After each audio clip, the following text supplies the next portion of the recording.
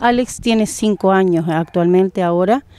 Este, eh, yo te convoqué, Laura, para porque a, pesar de que él está saliendo desde marzo en Canal 11, este, bueno, eh, estoy necesitando realmente hacerle la intervención esa en, en México, este, que es en Cancún, este, porque para mí me resulta muy difícil, muy difícil me resulta porque yo soy sola con él este, y eh, él necesita eso para cuando sea más grande tener una calidad de vida.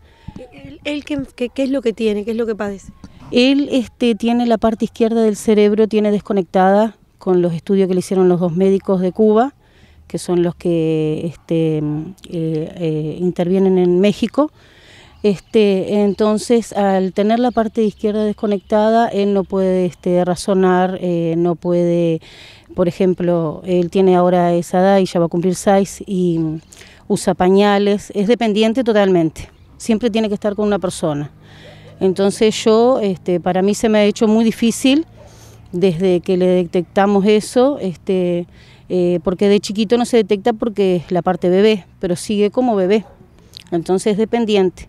Entonces se me ha hecho muy difícil y yo veo a futuro que se ve, hace más difícil porque él va creciendo, es un cuerpo más grande y yo este, soy sola y voy para, para grande también, si Dios da vida, ¿no?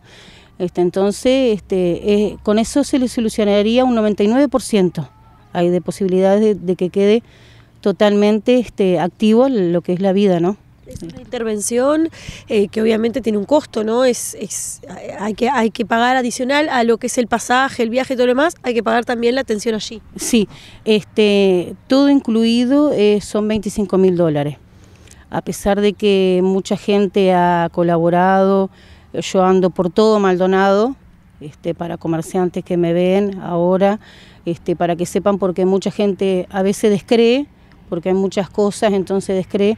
Este, hay ferreterías que han donado este, cosas para hacer rifa y yo he andado y con eso se depositan las cuentas, pero así no ha sido suficiente, porque el ratito que yo tengo es muy poco, que es en el ratito que él está en el colegio, para poder hacer todo lo que se necesita hacer para él y después tengo que estar con él porque trabajar afuera no puedo, se me ha cortado muchísimo los caminos en, muchas áreas, en trabajar, en mi vida propia personal, este, entonces por eso es que este, acudo a la ciudadanía a ver si, si alguien este, se pone la mano en el corazón porque tiene cinco años y es a futuro.